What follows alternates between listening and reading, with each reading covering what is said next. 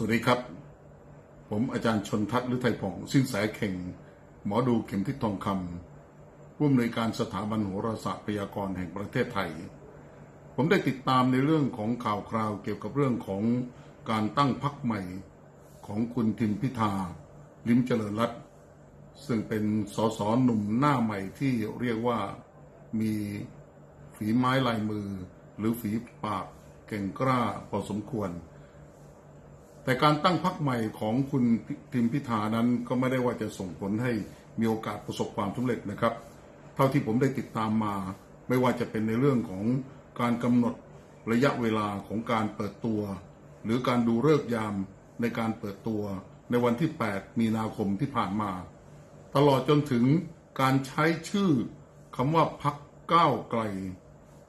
ซึ่งจริงๆแล้วคุณ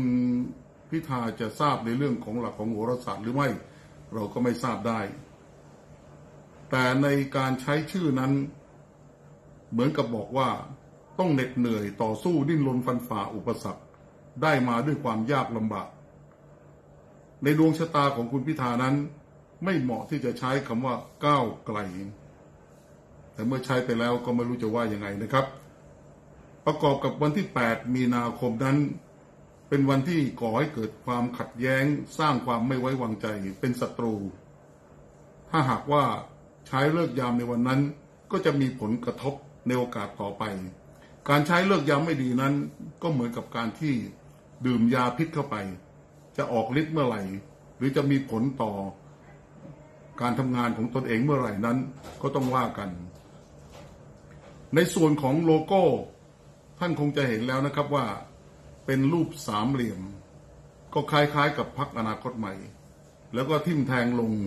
ในตำแหน่งเดิมเหมือนกันนะครับ แต่ชื่อของพักก้าวไกลนั้นไปอยู่ด้านข้าง ถึงแม้ไปอยู่ด้านข้างก็ตามนะครับ แต่การที่ใช้ความแหลมคมทิ่มแทงลงมา ก็เปรียบเสมือนกับการที่ทำร้ายตัวเราเองทำร้ายตัวเราเองชั้นเดียวไม่พอนะครับสองชั้นสองเด้ง เพราะฉะนั้น ในดวงชะตาของคุณทิมพิธานั้นเกิดธาตุทอง เมื่อเกิดธาตุทอง และใช้สัญลักษณ์มุมแหลม เรียกว่าธาตุไฟ มันก็จะก่อให้เกิดการทำลายสูญเสีย ในการใช้ชีวิตในการบริหารพักก้าวไกลซึ่งมีผลกระทบเช่นเดียวกันครับ ในดวงชะตาของคุณพิมพิธานั้น เรียกว่าเป็นคนที่มีสองอารมณ์อยู่ในตัว อารมณ์ดีก็ดีใจหายร้ายขึ้นมาก็เอาเรื่อง สร้างความขัดแย้งให้กับตัวเองขอให้เกิดความไม่ไว้วางใจ เพราะฉะนั้นในพื้นฐานดวงชะตาพฤติกรรมแล้วนะครับ ก็อาจจะมีผลในเรื่องของความรุนแรงเกิดขึ้น เนื่องจากเป็นคนที่มีสองอารมณ์ แต่บุคลิกด้านนอกนะครับ ถ้าเห็นแล้วก็จะดูว่าเป็นคนที่น่ารัก การพูดจานั้น เรียกว่าเป็นคนที่มีวาทะในการพูด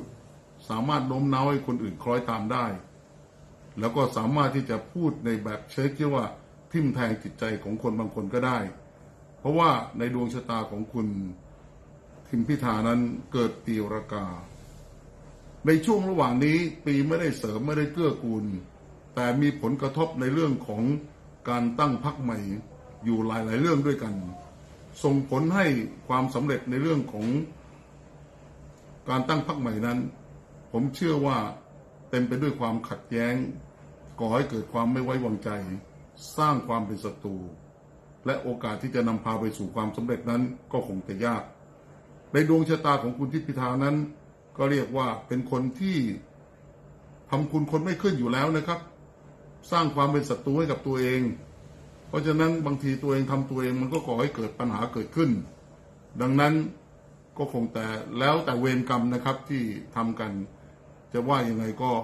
คงจะต้องตามไปในเรื่องของการบ้านการเมืองกันอีกทีหนึ่งว่าจะดำเนินการไปได้มากน้อยขนาดไหน ขอบคุณครับ